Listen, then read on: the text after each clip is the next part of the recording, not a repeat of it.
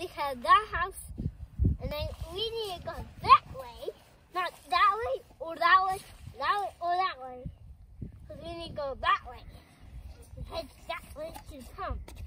Can you help me move this thing this way? Okay, Rowan, show us how you dig. No, you already saw it. I know I want to see it again. Oh yeah, that's a big pile of mud.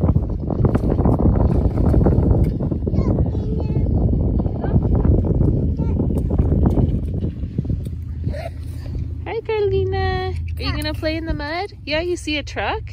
Well, yeah. Yeah, are you gonna play in the mud with brother? Huh?